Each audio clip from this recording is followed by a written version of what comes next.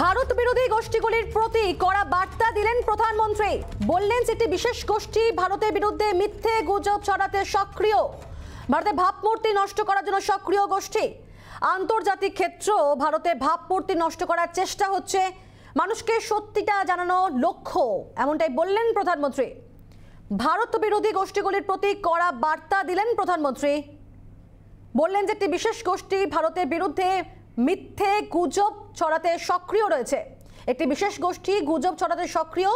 সেক্ষেত্রে ভারতে ভাবমূর্তি নষ্ট- করার একটা চেষ্টা চালানো হচ্ছে।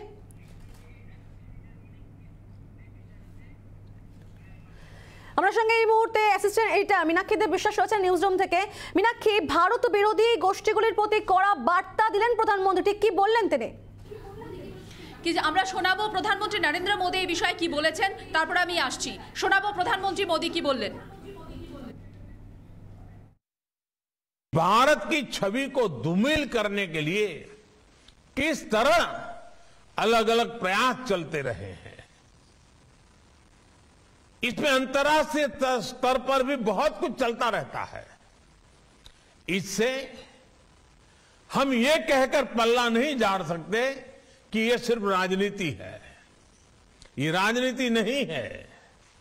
ये हमारे देश का सवाल है। भारत के बारे में जो अफवाहें फैलाई जा रही हैं, उनकी सच्चाई वहाँ के लोगों को बताएँ, उन्हें जागरूक करें, ये भी हम सबका कर्तव्य है।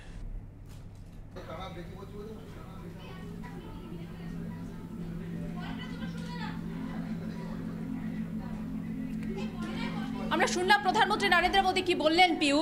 যেটি আরও একবার তিনি এর আগে বলেছিলেন। আজকের ঘটনা প্রথমে শুরুতেই তোমাকে বলি সেটা হচ্ছে আজকে আজাদিকা অমৃত মহোৎসব সে স্বর্ণিম ভারতকে অর এর যে উদ্বোধন ছিল, যে ভার্চুয়াল উদ্বোধন অনুষ্ঠান ছিল, সেই উদ্বোধনী অনুষ্ঠানে কিন্তু কড়া বার্তা দিয়েছেন প্রধানমন্ত্রী নরেন্দ্র মোদী।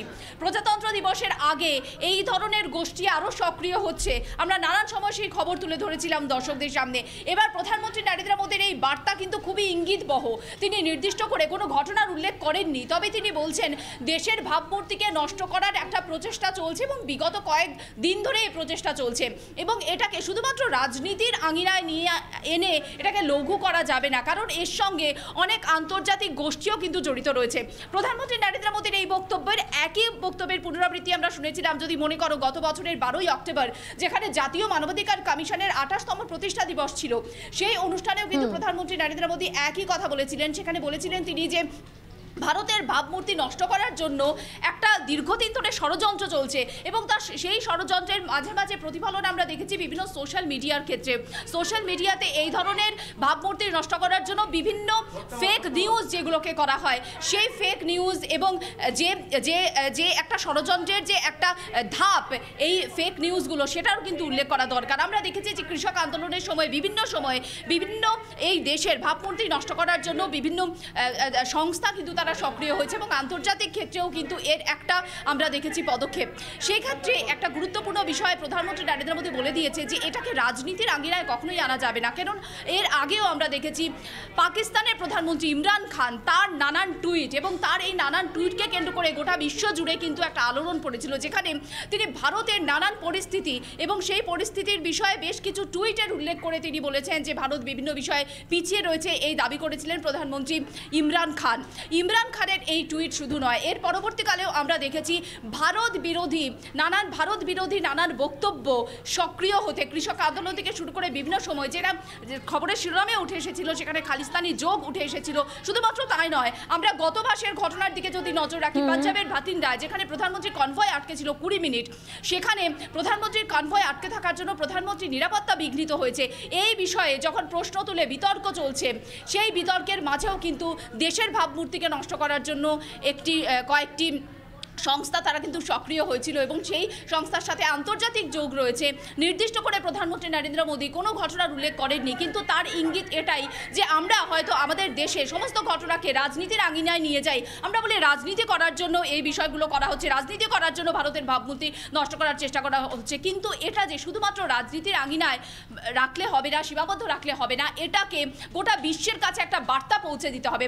প্রত্যেকটা নাগরিককে দেশের প্রত্যেকটা নাগরিকের এই দায়িত্ব বর্তায়। যে কারণে প্রধানমন্ত্রী নরেন্দ্র মোদী কিন্তু তার বক্তব্যে তুমি শুনবে তিনি প্রত্যেকটা নাগরিকের প্রতি আবেদন রেখেছেন যে ভারতের ভাবমূর্তি নষ্ট করার যে চেষ্টা করা হচ্ছে সেটাকে যেন রোখা হয় এবং প্রত্যেকটা ভারতীয় নাগরিকের এই দায়িত্ব এই প্রচেষ্টাকে রোখা এবং নিজের নিজের জায়গা থেকে ভারতের সম্পর্কে সঠিক তথ্য বিশ্বের দরবারে পৌঁছে দেওয়া। বিশ্বের দরবারে আমাদের ভারতের ভাবমূর্তি যাতে নষ্ট না হয় সেটা দেখার কিন্তু দায়িত্ব আমাদের প্রত্যেকের। এই বিষয়টি নির্দিষ্ট করে প্রধানমন্ত্রী নরেন্দ্র মোদী বলেছেন আমরা কয়েকটা ঘটনার যদি বিবরণী দিই এবং প্রজাতন্ত্র দিবসের আগেও আমরা দেখেছি বিভিন্ন গোষ্ঠী সক্রিয় হতে আমরা দেখেছি বিভিন্ন জায়গায় আরডিএক্স উদ্ধার হয়েছে আইএডি উদ্ধার হয়েছে এবং লুধিয়ানা বিস্ফোরণ থেকে শুরু করে গাজীপুরের ফুল বাজারে যে আইএডি উদ্ধার হওয়া তাকে কেন্দ্র করেও কিন্তু একটা চাঞ্চল্য সৃষ্টি হয়েছিল। প্রজাতন্ত্র দিবসের আগে স্বাধীনতা দিবসের আগে ভারতের ভাবমূর্তি নষ্ট করার একটা প্রচেষ্টা চলে এবং নির্দিষ্ট করে এই বছর যেখানে আজাদি কা অমৃত মহোৎসব এই প্রচেষ্টা আরও সক্রিয় হয়েছে বলে প্রধানমন্ত্রী মোদীর বক্তব্যে কিন্তু স্পষ্ট। একেবারে মিনাকে এবং আন্তর্জাতিক ক্ষেত্রে ভারতে ভাবমূর্তি নষ্ট করা হচ্ছে এবং সেক্ষেত্রে মানুষকে সেটা জানানোর একটা লক্ষ্য বলে বলেন প্রধানমন্ত্রী। অনেক ধন্যবাদ তোমাকে।